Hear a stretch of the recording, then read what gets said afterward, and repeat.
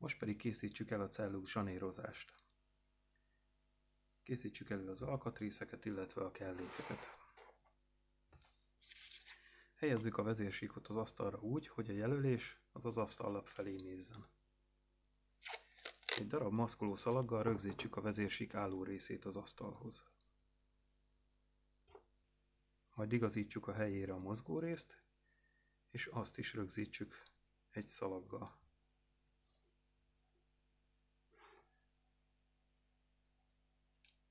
Fontos, hogy a felületek portalanítva legyenek, hogy ragadjon hozzá a szalag. Vágjunk le, vágjunk le egy csík celluxot, ami hosszabb, mint a vezérsík.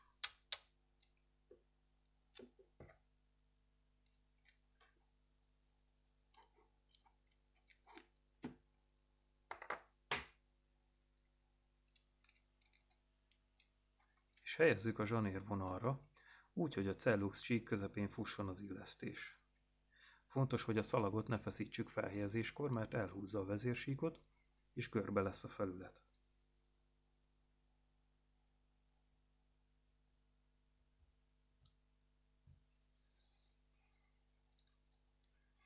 Egy filclappal vagy bankkártyával simítsuk le.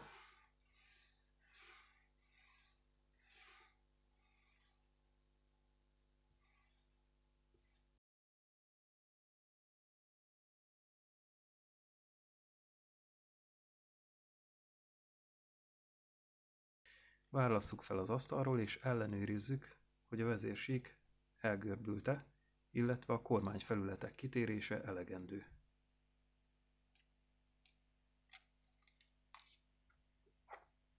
Ha bármelyik nem megfelelő, húzzuk le a szalagot és javítsuk ki. Ha minden tökéletes, akkor vágjuk le a túlérő szalagot,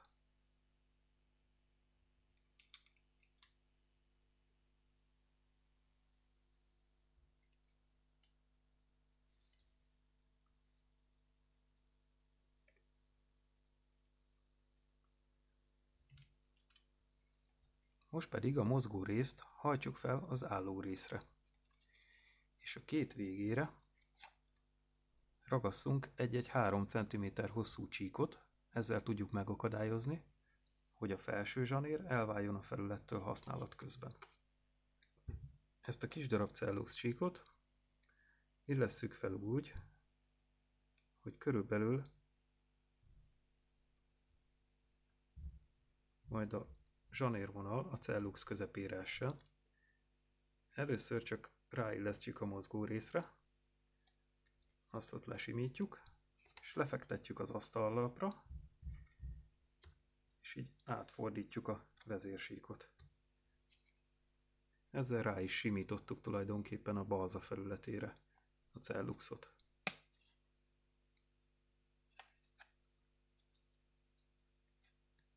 Felesleges kiálló részt vágjuk le szikével.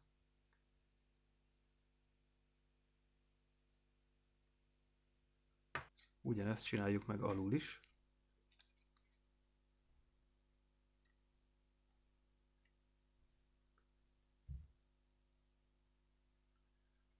Lefektetjük a vezérsíkot az asztalra, és átforgatjuk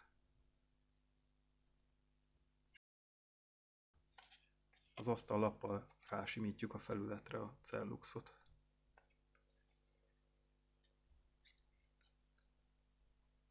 Újból ellenőrizzük a kitérést.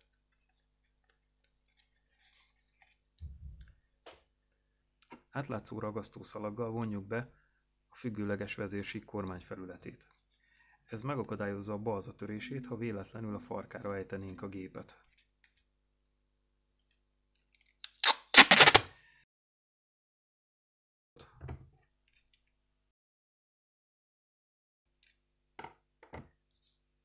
Majd szintén feszítés nélkül illesszük a mozgó részre. Egy félszlappal simítsuk rá.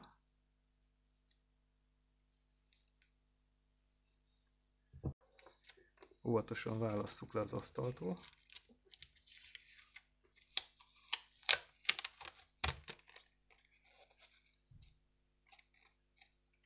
Fordítsuk át.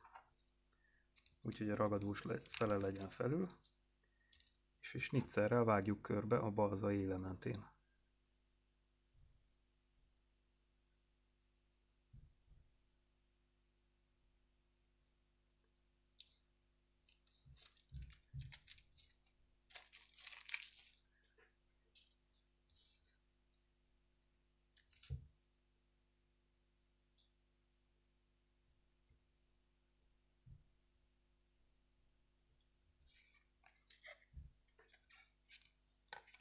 Most ugyanígy vonjuk be a másik oldalát.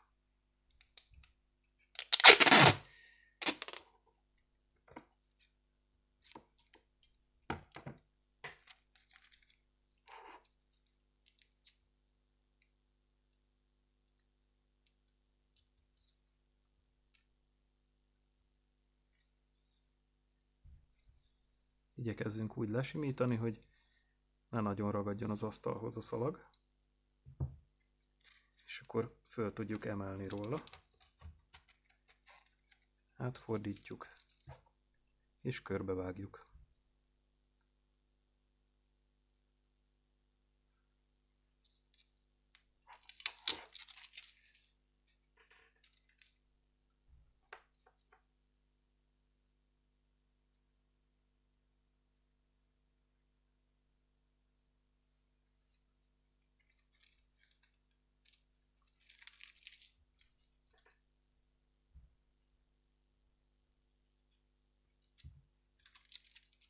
Kormányemelő helyét a jelölésnél vágjuk át egy snitzerrel.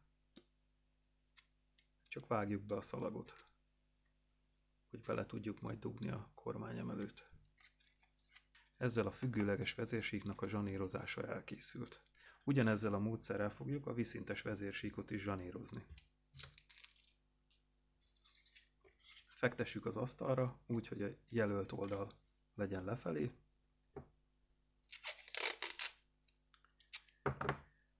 egy darab tézával rögzítjük a, az álló részt, igazítsuk be a mozgó részt, hogy tökéletesen illeszkedjen a két vége.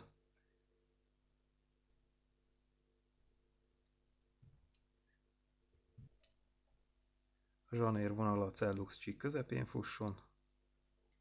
Nagyon fontos, hogy ne feszítsük a szalagot, mert könnyebben el tudja húzni a vízszintes vezérsíkot a megfeszített cellux.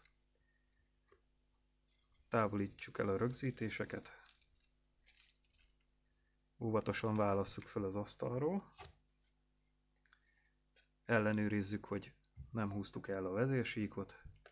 Elegendő a kitérés, és ha igen, akkor vágjuk le a felesleges celluxot.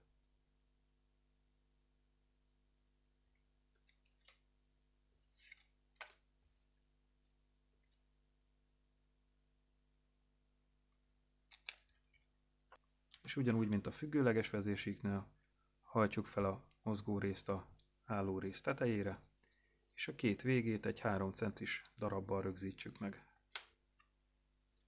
Tehát visszahajtottuk, és ide helyezünk egy cellux csíkot.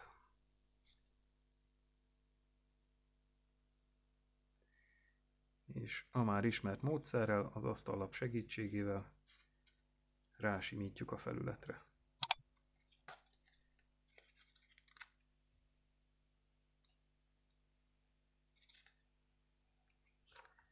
A felesleges kiálló részt levágjuk.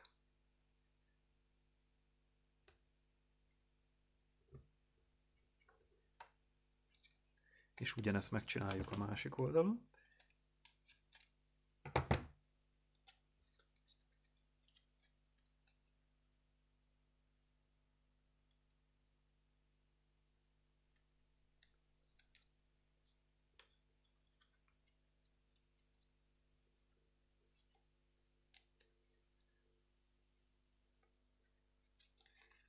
Újból ellenőrizzük a kitérést, ez bőven elegendő. A felesleges részt levágjuk.